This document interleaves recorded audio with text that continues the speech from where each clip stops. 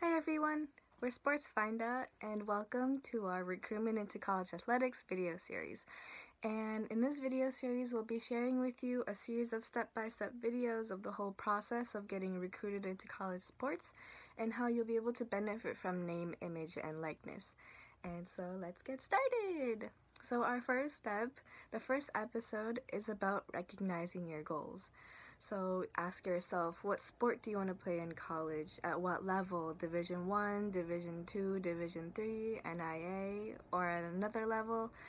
Uh, where do you want to play that sport? And so these are very, you know, some very important questions to ask yourself as you start the whole journey of getting recruited into college sports.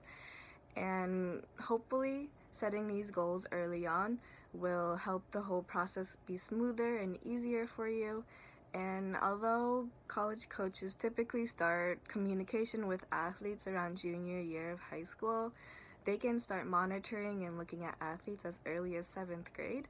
And so as you head into your junior year, set your goals, make sure you know what you want to do, and stay tuned for our next video. See you then. Bye.